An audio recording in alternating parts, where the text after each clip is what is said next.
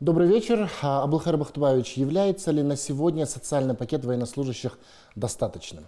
Ну, во-первых, я хотел бы сказать о том, что на сегодняшний день э, государство все необходимые обязательства перед военнослужащими выполняет в срок и в полном объеме. Это касается вопросов выплаты денежного удовольствия, это касается выплат э, различных социальных гарантий, жилищных выплат и обеспечения форменным обмундированием.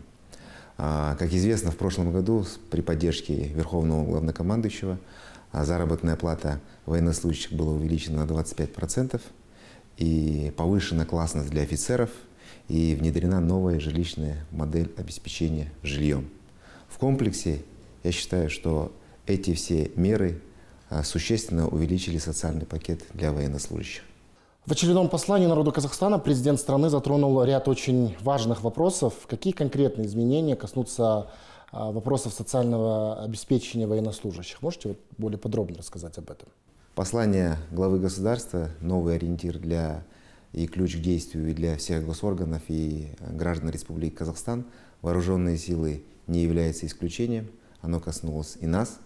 А, первый блок э, направления работы в рамках послания – это гражданские служащие. Как известно, глава государства сказал о том, что а, в полтора раза увеличится минимальная заработная плата. У нас такая категория гражданских служащих составляет 11 тысяч. И по нашим расчетам более 7 тысяч это, это увеличение коснется а, гражданских служащих, работающих в сфере вооруженных сил. Это первое направление. Второе, как известно, в послании была затронута отдельная сфера образования, в том числе вопросы, связанные со статусом педагога. Будет э, принят новый закон о статусе педагога. У нас существует четыре школы Жасулан, где работает более 118 педагогов. Э, мы считаем, что это также существенно отразится на их статусе, что также улучшит в целом сферу а, образования в вооруженных силах.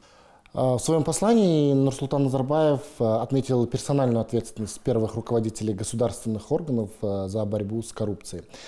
Министр обороны, первым из руководителей центральных государственных органов, заявил о бескомпромиссной борьбе с коррупцией в воинской среде. Не могли бы вы, как председатель антикоррупционной комиссии, рассказать, какая работа ведется в этом направлении? Если говорить э, конкретно, а, каких, как мы собираемся э, это делать, то здесь у нас э, намечены определенные направления. Военкомат или департамент по делам обороны, у нас на сегодняшний день там есть определенные проблемы, в том числе проблемы, связанные коррупционного характера, поскольку 73% выявленных коррупционных правонарушений приходится именно на департамент по делам обороны или наши военкоматы. Здесь э, мы планируем провести очень серьезную работу.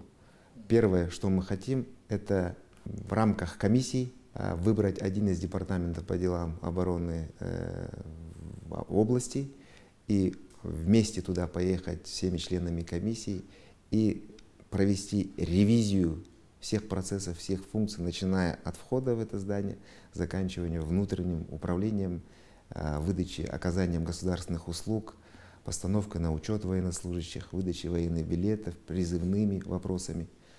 Мы хотим эту работу э, запланирована, она у нас на ближайшее время, уже план соответствующий у нас он э, утвержден.